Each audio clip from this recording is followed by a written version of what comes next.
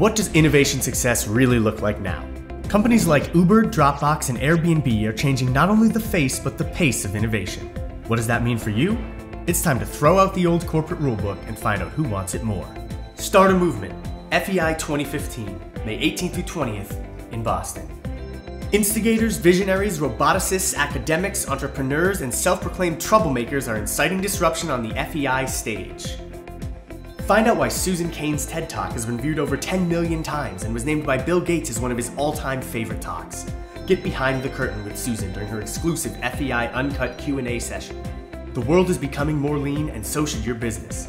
Lean startup guru Steve Blank can help. Plus, don't miss the Startup Lab for playbook takeaways from the hottest new startups, VCs, and angel investors.